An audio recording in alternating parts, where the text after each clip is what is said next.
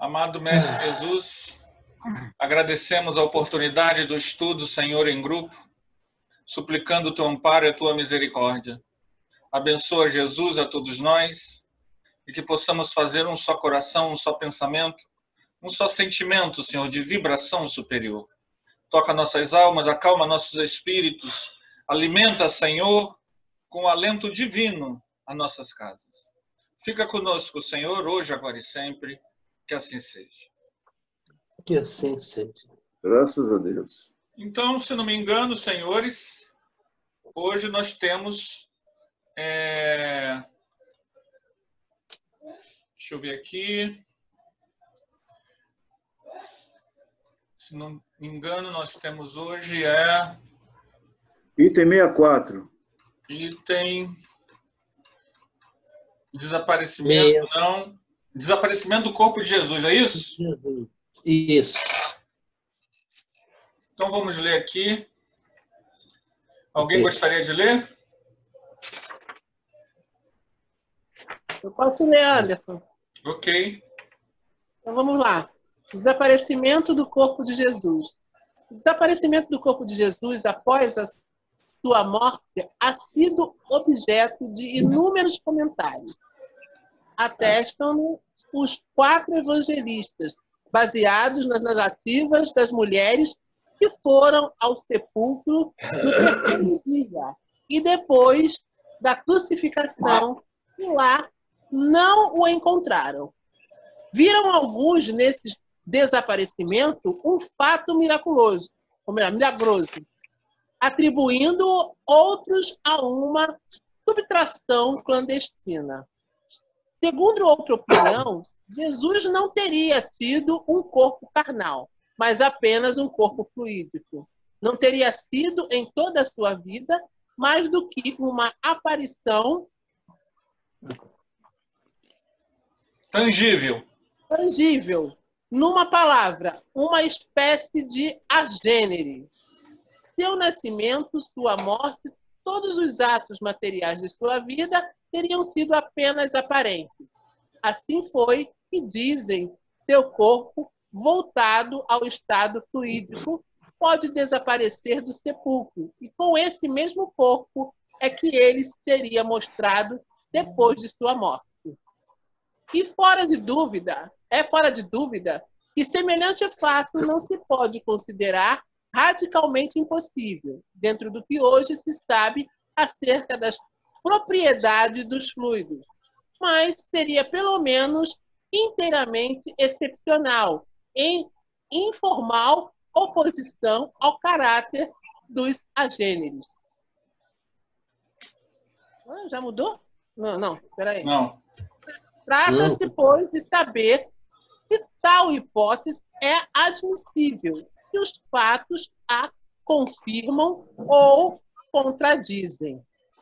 Vamos, pode ir para 65. A estada de Jesus na Terra apresenta dois períodos: o que precedeu e o que se seguiu à sua morte. No primeiro, desde, desde o momento da concepção até o nascimento, tudo se passa pelo que se respeita a sua, pelo que respeita a sua mãe, como nas condições ordinárias da vida desde o seu nascimento até a sua morte, tudo em seus atos, na sua linguagem e nas diversas circunstâncias da sua vida. Revela os caracteres inequívocos da corporeidade. São acidentais os fenômenos de ordem psíquica que nele se produzem e nada tem de anômalo, pois que se explicam pelas propriedades do perispírito e se dão em graus diferentes, noutros indivíduos. Depois de sua morte, ao contrário, tudo nele revela o ser fluídico. É tão marcada a diferença entre os dois estados que não podem ser assimilados. O corpo carnal tem a propriedade tem propriedades inerentes à matéria propriamente dita. Propriedades que diferem essencialmente das dos fluidos etéreos, naquela e e a desorganização se opera pela ruptura da coesão molecular. Ao penetrar no corpo material, um instrumento portante lhe sobe, sobe, sobe, sobe, Uhum. sobe, lhe divide os tecidos. Os órgãos essenciais à vida são atacados. Cessa-lhes o funcionamento e sobrevém a morte, isto é, a do corpo. Não existindo nos corpos fluídicos essa coesão. A vida aí já não repousa no jogo de órgãos especiais e não se podem produzir desordens análogas àquelas. Um instrumento cortante ou outro qualquer penetra num corpo fluídico como se penetrasse numa massa de vapor, sem ocasionar qualquer lesão. Tal a razão por que não podem morrer os corpos dessa espécie e porque os seres fluídicos designados pelo nome de agêneres não podem ser mortos. Após o suplício de Jesus, seu corpo se conservou inerte e sem vida. Foi sepultado como são ordinários os corpos de todos, de todos os que puderam ver e tocar. Após a sua ressurreição, quando quis deixar a terra, não morreu de novo.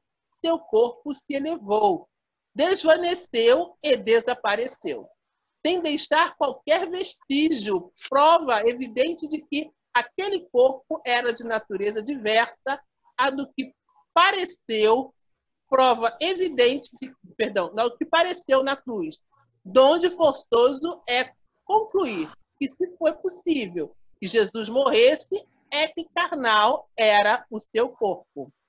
Por virtu- virtude das propriedades materiais, o corpo carnal perdeu. Isso. Vânia perdeu. o corpo carnal, cadê o corpo carnal, Jesus? É a Entendi. sede. Continua para mim, por favor. carnal- O corpo carnal é a sede das sensações e das dores físicas que repercutem no centro sensitivo ou espírito. Quem sofre não é o corpo, é o espírito recebendo o contragolpe das lesões a alterações dos tecidos orgânicos. No corpo e em espírito, absolutamente nula é a sensação. Pelas mesmas razões, o espírito sem corpo material não pode experimentar os sofrimentos, visto que estes resultam das alterações da matéria, donde também forçoso é se conclua que, se Jesus sofreu materialmente, do que não se pode duvidar, é que ele tinha um corpo material de natureza semelhante ao de toda a gente. Ok, ok, gente. Quer comentar, Paulo? Vânia, vocês que leram, querem, querem comentar?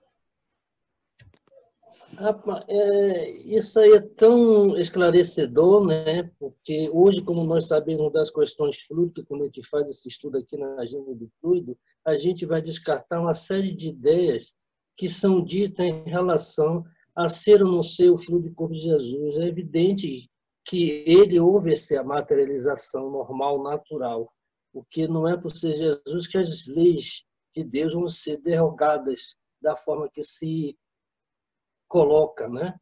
E, e, isso vai dando uma clareza exatamente daquilo que é através do nosso estudo do fluido, que a gente vai compreender e saber. Eu acho que é bem esclarecedor e bem, bem explicativo isso aqui, em relação a ser ou não ser. Embora não Anderson. esteja descartado, né? Mas Eu não, eu não entendi muito. Eu não sei se eu me distraí o, o texto afirma que, que Jesus não estava em um corpo físico normal ou não? Ele está dando uma hipótese. não.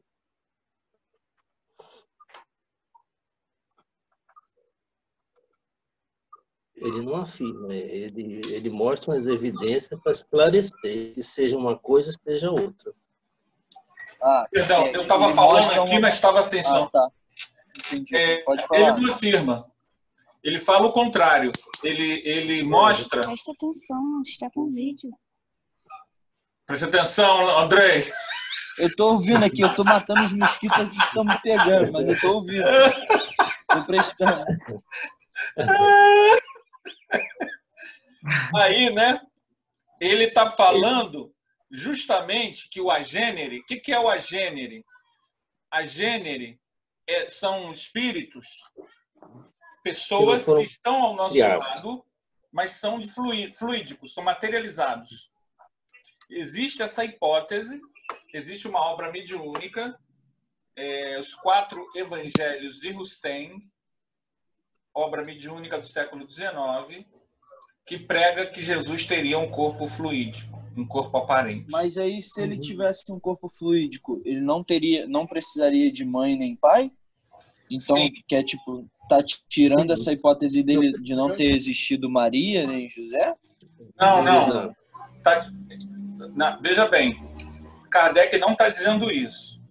Kardec está indo contra essa ideia. Entendi. Kardec está demonstrando que Jesus durante toda a sua vida, o pouco que a gente sabe dele, ele teve uma vida normal, como qualquer pessoa. Ele teve depois três anos de pregação, tirando os fatos paranormais que eventualmente aconteciam, Jesus. Deixa eu ver aqui, tem gente esperando. Eu acho que admiti. Acho que admiti todo mundo. Sim. Tirando os fatos assim de cura e tudo mais, Jesus teve uma vida comum. Comum, como de todo mundo, comia, dormia.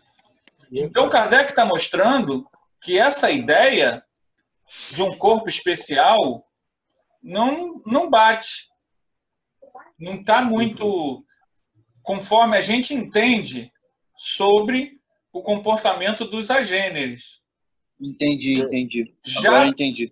Já depois da crucificação, quando Jesus aparece para Maria de Magdala e os apóstolos, o comportamento dele já é totalmente diferente. É. Quando Maria Magdala vai tocar, ele disse: Não, não me toques. E depois ele sobe, ascende aos céus. Então, após a crucificação, já não era o corpo físico.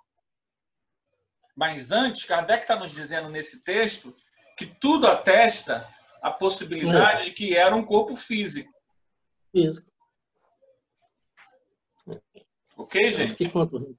É exatamente isso.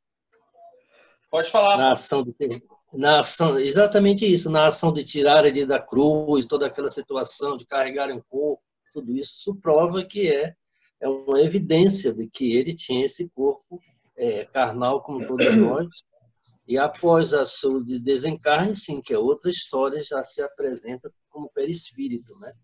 E se mostrando fluido. Que, inclusive, numa, numa, conversa que tem ele com os apóstolos, que os apóstolos não conseguem enxergar ele, definir aquele que seja, né? Eles é. ficam sem enxergar, ver exatamente se é, não é. Aí Jesus, aos poucos, vai mostrando aquilo que ele como ele é e tudo, é, é muito evidente, é muito esclarecedor essa, essa duas pontas desses dois aspectos. E, e tira Olha, essa dúvida né, da gente. Anderson, seria, para mim, na minha concepção, incoerência Jesus vir ao mundo, passar por todos, por tudo aquilo que ele passou, né? E ser uma coisa que ele não sentiu, que ele não, não teve nenhum tipo de, de, de contato é, é, real com, com os homens. Ele veio, para mim, o, texto é bem explícito nesse, nesse sentido, dizer que veio, né, nasceu normalmente de uma mulher e de um homem e viveu até os 33 anos. Após a morte dele, sim, o corpo, pra, a explicação diz que o corpo é fluídico, né? o corpo é fluídico. E quando ele não iria, acho que seria uma derrogação total de tudo aquilo que a gente acredita, se ele subisse com o corpo físico. Não tem, não tem é, como é que se sentido. Exato, exatamente. E outra coisa, a, ninguém vai para o mundo espiritual com um corpo físico. Então, o corpo dele que ascende é um corpo espiritual. Já anteriormente, não, antes era um corpo físico. A gente precisa entender que o mais importante nisso tudo é que as teses de corpo fluídico são teses que tentam referendar o nascimento divino de Jesus. Uhum. Que querem referendar a virgindade de Maria. É uma coisa ligada à tradição católica muito forte. É, é. Que diminui o nascimento de Jesus, do, do ser humano, e a concepção acha que o ato sexual da que concebe um ser como algo impuro, quando na verdade é, é algo divino. Uhum. O É uma nós- lei. Pode falar, Paulo. Uma lei. É Uma uma lei lei natural. de Procriação. A grande verdade é que nós, as pessoas que defendem essas ideias, eles têm muitos argumentos, tá? Muitos argumentos. Nós ficamos seis horas, mais ou menos, debatendo com Luciano dos Anjos, há muitos anos atrás. Luciano dos Anjos é um rustenguista arraigado e um filósofo, um pensador espírita, assim, de primeira grandeza. E o grupo que estava lá era um grupo, todo mundo muito. Se imagina ficar seis horas estudando. A gente convidou ele para falar uma hora e meia. Ele ficou seis horas. Tá? Foi tudo gravado em VHS. Se perdeu, infelizmente. E aí alguns saíram, tinha umas 20 pessoas ali, na casa da Heloísa, lá na ilha. Algumas pessoas saíram daquele estudo rustenista, defendendo a ideia, porque eles têm muitos argumentos. Para nós, o importante é a gente entender o seguinte: não há por que a gente levantar essa hipótese. Se você quiser acreditar nisso, é um direito seu, O direito é uma crença. Crença, qualquer um tem direito de ter no que quiser. Ok? Agora, você não pode elevar essa crença para os estudos e a tribuna espírita. Isso, claro. Você tem que respeitar o espaço espírita para falar de doutrina espírita. Essas questões, Espírita. elas são polêmicas. Por isso que Kardec, Kardec na Gênesis, ele já descarta. É, Ele descarta usando a lógica. é. Ninguém é obrigado a nenhum espírita. Isso é importante entender. Nenhum espírita é obrigado a concordar com ideias que não estejam na, eh, que não seja a estrutura da doutrina espírita. Ideias paralelas, você tem o direito de ter sua opinião. Os princípios básicos da doutrina espírita é que te tornam espírita. Então, lógica. se eu estou falando, fazendo uma palestra, me convidam, a Vânia me convida para fazer uma palestra na casa espírita dela. A Vânia não está me convidando para saber minhas opiniões pessoais sobre se Jesus tinha olho verde ou azul. A Vânia está Uhum. querendo que eu fale de doutrina espírita. Não é um ato do meu personalismo. As minhas opiniões pessoais sobre a cor dos olhos de Jesus eu falo com bate-papo com os amigos. Ou então crio um canal e, e falo minhas opiniões pessoais. Mas no campo da casa espírita, a gente quer falar de doutrina espírita. Uhum. E a doutrina espírita, quando se trata das coisas, ela vai dentro, aquilo que for dentro do, do biológico, do científico, ela vai tender sempre para a ciência dos homens, para a pesquisa. Lógico, é. Tudo que a gen- a gen- existe a possibilidade de um agênere andar à luz do dia. É possível, mas não 30 anos. Uhum. Eu não, Isso, existe agêneres, casos de agêneres, mas ele não fica 30 anos. Você teria que inventar uma hipótese muito louca, quase mística, para referendar essa ideia. É um direito.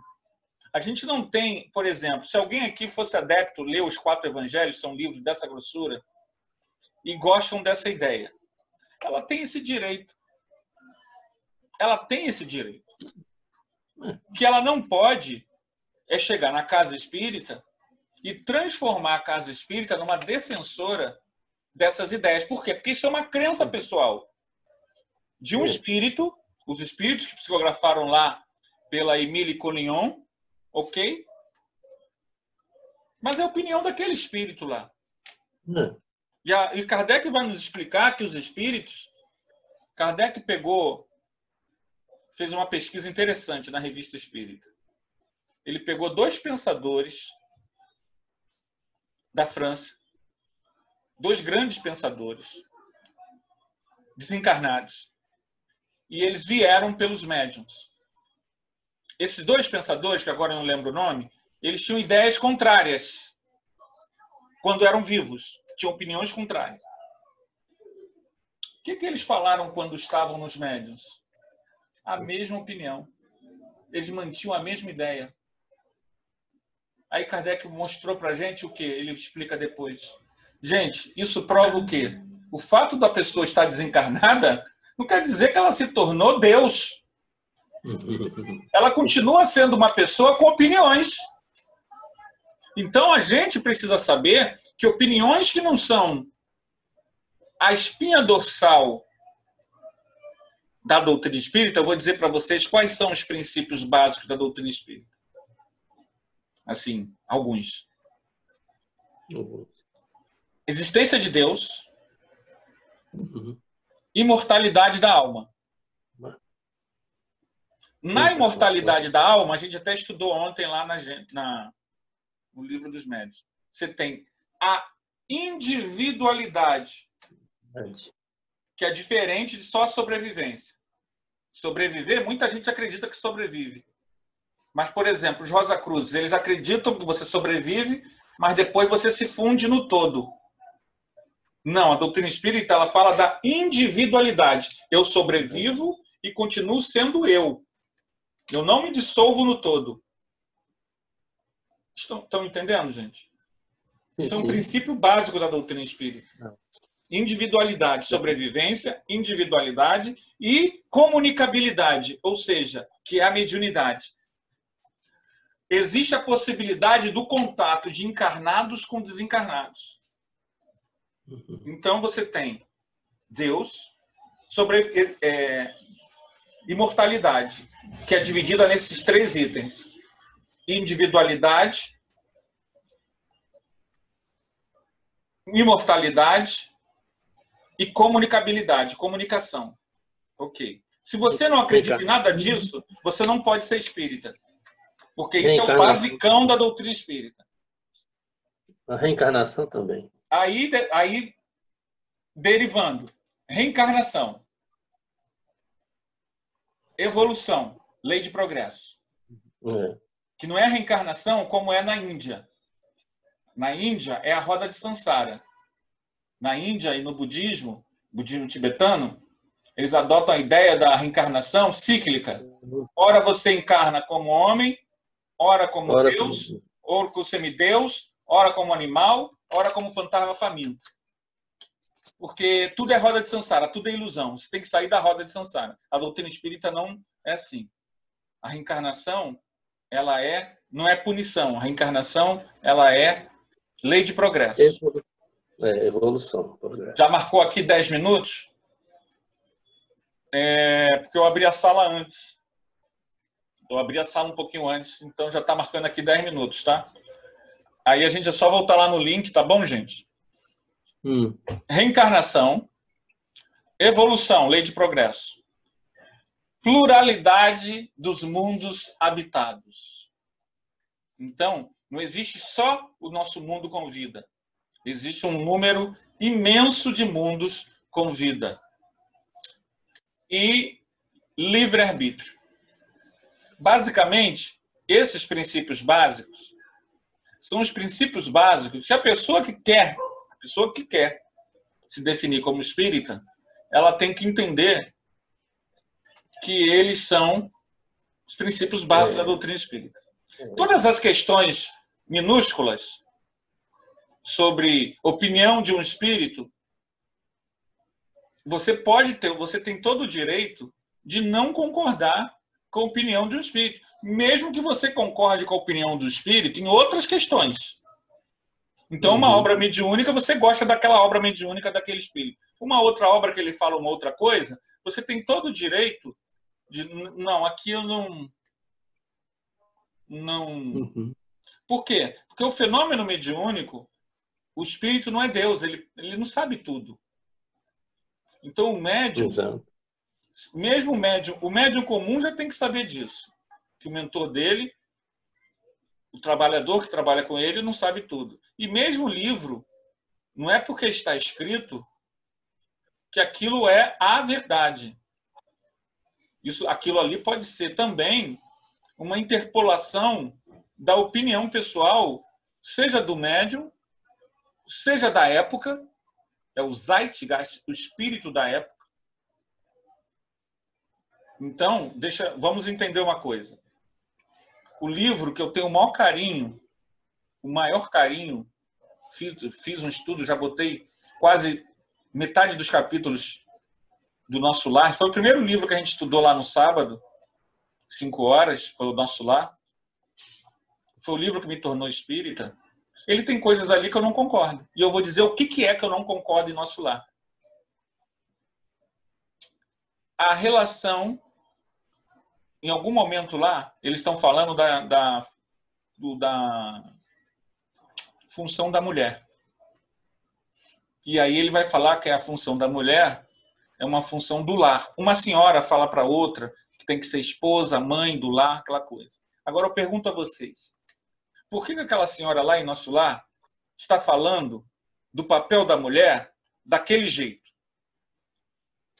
É uma pergunta. Por causa do raciocínio causa da, da, época. época. Da época, exatamente, né? Na época era assim. Ela está falando os valores de 1943. 1940. 1937. O espírito está falando valores uhum. dessa época. Uhum. Ela não vai pregar uma senhora desencarnada, ela não vai pregar valores de 2020. Então tem gente às vezes que se pega nisso para ficar criticando a obra. Gente, não tem nada a ver. É uma questão do é. zeitgeist da época. É. Mesmo que ela quisesse, o médium talvez tivesse dificuldade. Se um espírito chegar aqui e falar conceitos muito avançados de daqui a, a 150 anos para nós, conceitos sociais de comportamento, nós não temos condições. Vai nos causar escândalo. Uhum. Eles não podem fazer isso. Eles têm que respeitar o limite é, cognitivo, cultural do, das pessoas. Estão entendendo, gente? Então não, claro. não tem erro ali. Não tem erro nenhum. Mas é claro que eu já vi orador pegar aquilo ali e fazer uma palestra sem fazer esse desconto. Eu já vi. Uhum. A pessoa pega aquilo ali e descreve literalmente, sem se ater que aqueles conceitos. É... Ninguém mais. A mulher hoje em dia, gente, se ela não trabalhar, já viu, né? O espírito da mulher, que está na mulher, ela, o Chico Xavier falou, o próprio Chico Xavier falou isso nos anos 60, 70, sobre o feminismo. Eu acho que é uma definição ótima. Tudo que o ganso bebe, a gansa bebe também. oh, é. As diferenças somos nós que fazemos com a nossa cultura machista. Mas a mulher, ao longo do tempo, ela vem conquistando espaço eu estou olhando aqui para vocês, estou vendo aqui, né? A Vânia, que é uma guerreira, né? A Denise Borges também conheço um pouco da vida da outra guerreira. Ou seja, a Dib, né? A Dib aí, uma guerreira também, a Cecília aí, marketing, né? Vendedora, guerreira. Ou seja, são vocês, somos nós, não é isso? É, é, é, a nossa sargenta ali, Vânia. Falo demais, né? Nossa sargenta ali. a nossa professora ali, Sayonara, é um outro momento. É um outro uhum. momento. Então é lógico que você, ao ler o nosso lar, vejam bem, gente, tem gente que lê isso e nem percebe, tá? Muita gente nem percebe. Mas a gente que é da área de humanas, a gente salta os olhos essas coisas. Isso salta, grita para é. gente quando a gente lê. É como uma pedrada. É. Então, é uma coisa que é, é, a gente repara, então por isso que eu estou comentando. Mas não é um erro, é uma questão de opinião. Então, Kardec, quando está falando do. Três minutos, ainda dá para. Kardec, quando está falando do corpo fluídico, percebam bem lá no texto. Kardec vai para além da opinião. Ele usa a filosofia, método filosófico da indução. É o método indutivo. Ele vai encadeando o raciocínio para que a gente entenda a lógica é. do pensamento. Então, vou, vou, aqui, é. vou mostrar de novo aqui. É, share. Aqui. Aqui. Por virtude, estão vendo aqui? Estão vendo, gente?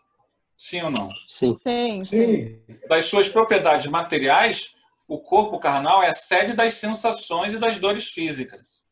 Exato. Que repercutem no centro sensitivo ou espírito. Quem sofre não é o corpo, é o espírito, recebendo o contragolpe das lesões ou alterações dos tecidos orgânicos. Num corpo sem espírito, absolutamente nula é a sensação. Pela mesma razão, o espírito, sem corpo material, não pode experimentar os sofrimentos. Aí, a gente olhando a narrativa de Jesus, que a gente conhece dos evangelhos, Jesus é. sofreu foi muito. Uhum. Aí o que que essas pessoas dizem? Que Jesus fingiu? Uhum. Que Jesus fingiu que estava sentindo dor? Entenderam? Uhum. Entenderam a lógica de Kardec? Entendi. Absolutamente aqui. Entendida. Aqui, ó, aos fatos, um minuto que a gente tem. Aos fatos materiais juntam-se considerações morais. Se as condições de Jesus durante a sua vida fossem de ser fluídico, ele não teria experimentado nem a dor, nem as necessidades do corpo. Supor que assim seja, haja sido é tirar o mérito da vida, de privações é e de sofrimentos que escolhera como exemplo de resignação. Se tudo fosse nele aparente, a sua prece a Deus para que ele afastasse os cálices, sua paixão, sua agonia, tudo não teria passado de vão simulacro. Aí ele conclui. É. Jesus, pois, teve um corpo carnal, como todo homem, e um corpo fluídico, que é atestado pelos fenômenos materiais e pelos fenômenos, fenômenos psíquicos, psíquicos que lhe assinou. A doutrina espírita, ela tem uma coisa que é muito importante. Você é senhor da sua, do seu pensamento do pensamento. Você é um indivíduo e é responsável pelo que você acredita, pensa. Você tem que Exato. ser livre. Ela não é indutora, é esclarecedora. Ela esclarece. É seu, é, seu raciocínio é que tem que ser feito dentro do discernimento da compreensão daquilo que você tem como instrumento de trabalho, que são essas informações esse esclarecimento que nos dá a ideia correta, a lógica e, e a certeza na razão. Pois é, Anderson. É como nós falamos no domingo. Se você acredita ainda em inferno, em céu, em terra plana, é melhor você deixar de ser espírito. Pode ir para outro lugar, porque não é possível que o espírito. É diferente, é diferente. Não é diferente? É diferente, espera aí. Se a pessoa acredita que a Terra é plana, que só existe a Terra, e, e as coisas estão estampadas no céu, ela não é espírita. Ela não pode, ela não vai deixar de ser espírita. Ela não é espírita. Não tem como. É um fator impeditivo. Terra plana, é, inferno, é um fator impeditivo. Né? A casa espírita, ela pode, o frequentador da casa espírita, ele pode acreditar no que ele quiser. Ah, você não é pode, você não pode colocar uma pessoa que acredita em coisas não espíritas como essas, que são anti-espiritismo, a qualquer cargo ou função. Às vezes isso acontece. Você não pode dar. Às vezes a pessoa chega até a diretoria e a pessoa tem dúvida sobre reencarnação. Você não pode dar essa, essa pessoa é, espaço. Ela tem. Qualquer pessoa, gente, tem direito de acreditar no que quiser. Quiser. Hum. Mas se ela está adentrando para se tornar um trabalhador espírita, aí é diferente. Entenderam a diferença? Entendi. A pessoa não pode ir contra os princípios básicos da doutrina. Não, ainda não estou bem claro. Então não assuma a responsabilidade. Isso é que às vezes cria problema à beça. Né? Que é a pessoa assumir um papel, às vezes as casas espíritas, aqui no nosso seu, por exemplo, 14 seu, a maioria das casas espíritas são pequenas, com pouca frequência. Aí você chega uma pessoa muito inteligente, acaba que essa pessoa às vezes tem um chega logo e às vezes a pessoa eu, eu tive um caso desse. A pessoa já era diretor da casa espírita e ela tinha dúvida sobre coisas da doutrina. Não era que não era alto, a pessoa era de outra casa. Mas você fica assim, né? Caramba, só pode, a pessoa sem querer, pode ser instrumento de espíritos da treva para detonar tudo. É. A pessoa não está fazendo por mal, mas na ignorância ela pode ser induzida a detonar tudo. Né? Uhum. Claro que certos princípios é mais difícil, né? Porque a pessoa já está ali frequentando. O problema são os detalhes. É. Os detalhes é que são o problema. Eu disse, eu disse uma vez, lá no Araújo, eu disse, eu não, não tinha dito isso em lugar nenhum. Porque, para mim, a maior, é, é, dentro da minha concepção, a lei da reencarnação é a maior justiça de Deus para a humanidade. Eu penso assim. Mas eu não tenho certeza absoluta, porque se eu tivesse. Eu, é, é essa afirmação que eu, que eu disse e fui contestar, mas é, é isso mesmo eu, eu, se eu tivesse essa certeza absoluta, eu não temeria absolutamente nada. Nada. Eu enfrentaria qualquer coisa sem o menor temor, sem o menor receio, sem nada.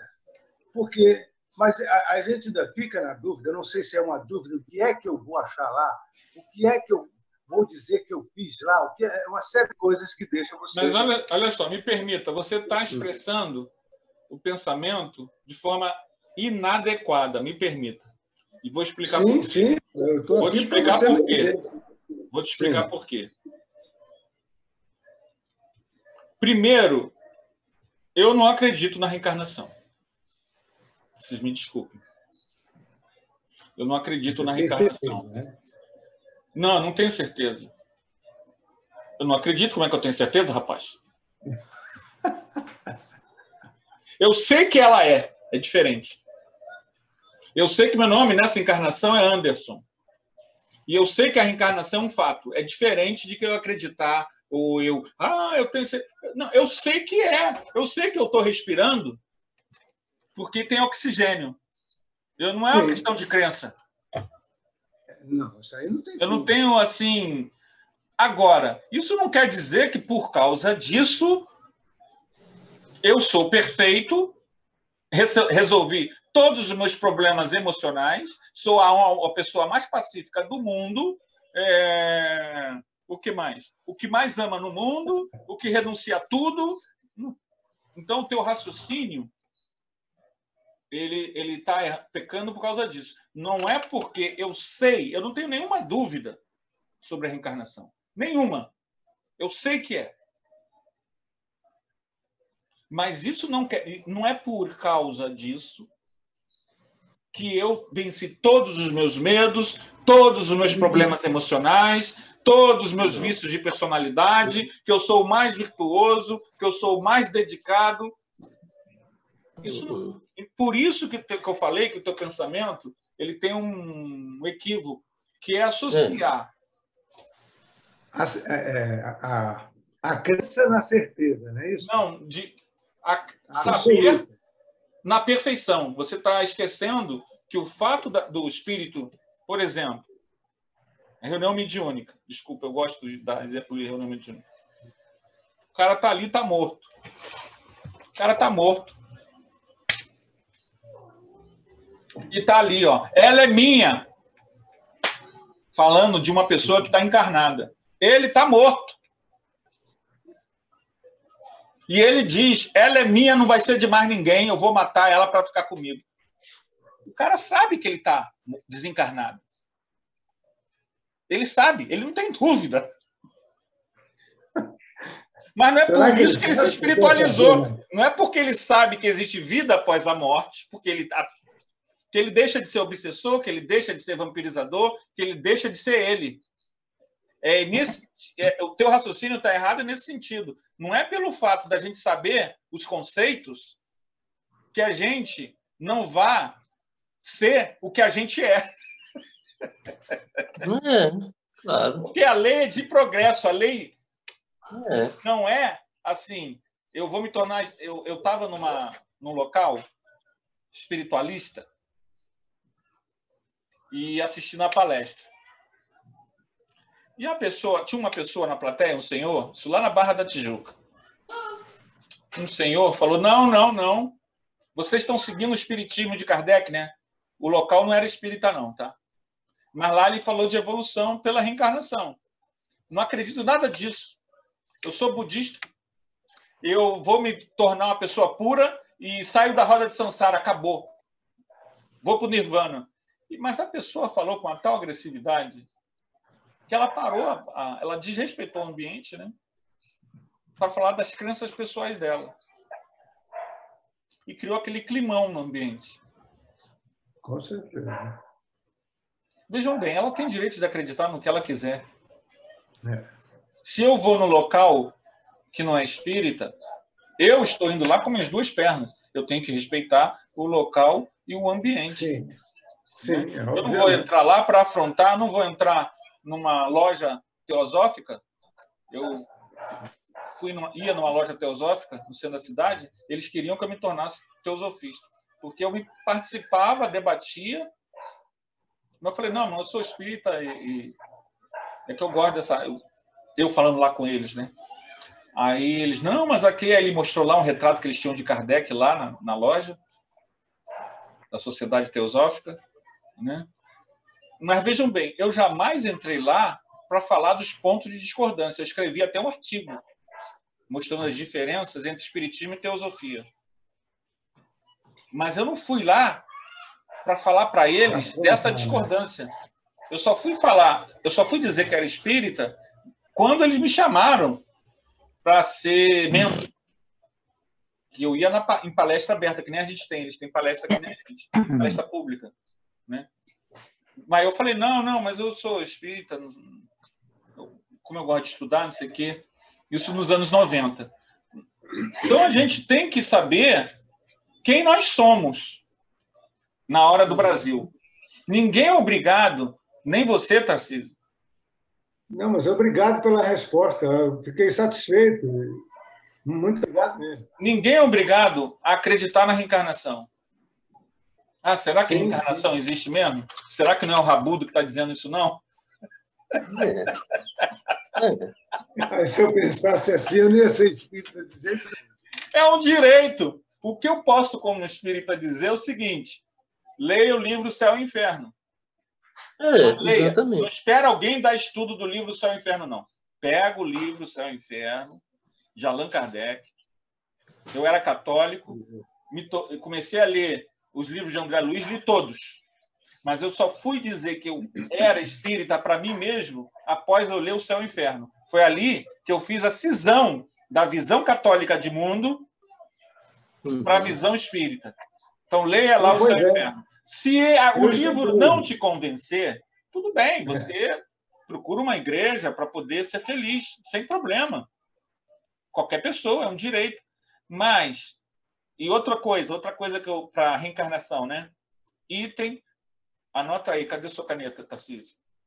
Só tem. É, é, eu, item, peraí, item crítico muito. 2, 2, 2. Eu, eu tenho um senso crítico muito grande. Eu, eu, Anotou? leio- Eu não vi você anotar. Eu estou olhando para você, eu não estou vendo você anotar. Item 222 do Livro dos Espíritos. Tá, você tá, eu, eu vou deixar eu olhar aqui. Eu estou com ele é livro dos Espíritos ou e no inferno? Livro dos Espíritos. Não, mas vale, a gente não vai estudar isso agora, não. Não, mas eu vou anotar. Ano Eu que vou vem a gente vai estudar o Livro dos Espíritos, Eu 19 vou anos. anotar. tá? É o item 2. 222, é do Expresso do Gilberto Gil. Tá, então, Tem dois, uma dois. música do Gilberto Gil, né?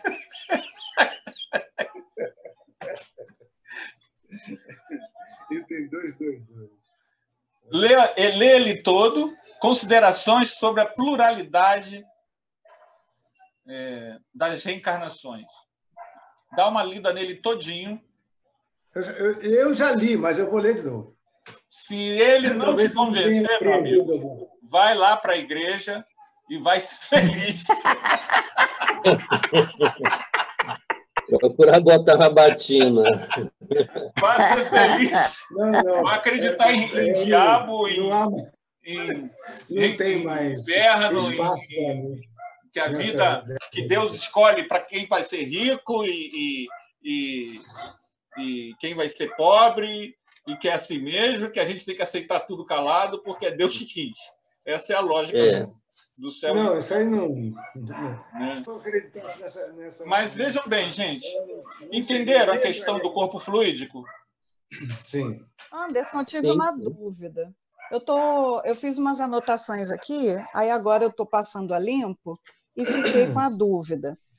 É, eu posso, por exemplo, considerar como a gênere aqueles momentos em que o médium doa ectoplasma e forma um corpo fluídico, de, que, que é até aqueles que são fotografados? Sim, a materialização.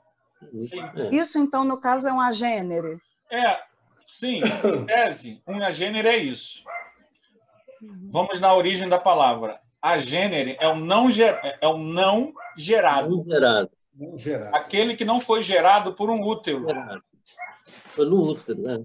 Ele é materializado. Então, o nome que a gente dá para o que você falou é materialização. Ok? Mas é um agênere. Só que o, o, clássico, ele são casos em que a pessoa, muitas vezes, se materializa e fica dias materializado. Existe um ectoplasma muito raro em que é possível isso. Mas são casos quase fantásticos, tá, gente? Uhum. Muito, muito, muito, muito raro. Mas tem enquadra lá o livro. Se você for caso. ver o livro de Tobias na Bíblia, livro de Tobias, vai falar de um agênero. Então a gente. Se enquadra na... Hein, Anderson? Se enquadra naqueles casos que você falou de espíritos que são superiores, mas que eles adensam o corpo fluídico, o perispírito deles, para ser visualizado por outras pessoas? Sim, sim. Sim. É, um, um, um espírito superior, ele pode puxar. Porque a materialização ela é feita pelo ectoplasma. E o ectoplasma, ele é formado pelo fluido vital. Fluido vital fica no, no nosso no corpo físico de todos os seres vivos. Todos os seres vivos possuem fluido vital. Logo, Então, tá uma confusão aqui na minha esquina, cara. Logo, o fluido vital pode ser o, a- o ectoplasma é uma transformação do fluido vital que leva à materialização.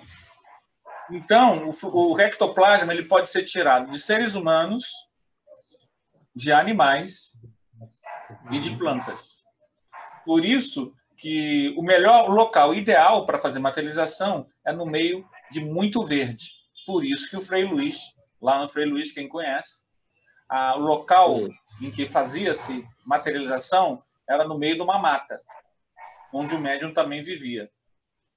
Por quê? Porque você tem o, o, o ectoplasma humano, o zooectoplasma dos animais e o fitoectoplasma dos vegetais. O espírito superior, ele pode puxar esses ectoplasmas e materializar a hora que ele quiser. Só que ele não vai fazer isso sem que isso não esteja dentro de um organograma muito maior, porque ele é superior, ele não trabalha no varejo. Ah, você está deprimido, ele não vai se materializar para vir te consolar. Ele trabalha atacado. Então, está esperando até agora. Então vamos fazer a nossa prece final. E quem puder e quiser, assiste lá a palestra, vale muito a pena. Ô, Laura, qual o nome do seu avô, por favor? É Eliezer Rodrigues dos Santos. Ok. Eliezer Rodrigues dos Santos. Isso. Vamos fazer a nossa prece final, então. Amado Mestre Jesus, agradecemos, Senhor, esses momentos. Permita, Jesus, que esses momentos se repliquem, Senhor. E que nós possamos ser úteis, melhorando nossos sentimentos, nossa forma de sentir. Que nós possamos aprender a respeitar, Jesus, cada indivíduo, cada animal, cada criatura. Permita, Jesus, que as falanges franciscanas possam levar a Eliezer Eliezer Rodrigues dos Santos. A Eliezer Rodrigues dos Santos as melhores vibrações de cura, que as falanges do Dr. Bezerra de Menezes possam ir até ele, levando, Jesus, os nossos fluidos vitais, o nosso ectoplasma, a nossa energia boa, abençoando sua alma, bem como a todos que estão internados no Ronaldo Gazola. Permita, Jesus, que a tua misericórdia recaia sobre todas essas pessoas. Abençoando, Senhor, médicos, enfermeiros e trabalhadores também. Permita, Jesus, que todos nós, unidos em nossas preces, possamos tocar a alma de Eliezer e de todos que lá se encontram. Que assim seja, graças a Deus. Graças a Deus. Graças, Graças a, a Deus. Deus. Graças a Deus. Que assim Muitas seja. graças a Deus. Gente, Graças a Deus. Uma ótima noite a todos. boa noite. Boa agora que eu vi a noite.